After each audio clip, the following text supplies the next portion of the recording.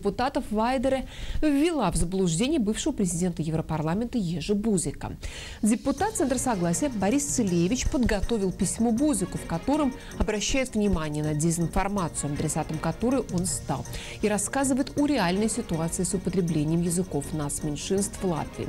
Наша страна не то что не ратифицировала, но даже не подписала Европейскую хартию о региональных языках и языках нас меньшинств. И делать этого не собирается, утверждает Целевич. Ратифицируя рамочную конвенцию о защите прав нацменьшинств, Латвия добавила к этому документу декларацию с оговорками и ссылками на свое национальное законодательство, ограничив право нацменьшинств обращаться в государственные и муниципальные органы на родном языке. Референдум о признании русского языка государственным не повлияет на имидж Латвии в мире, заявил министр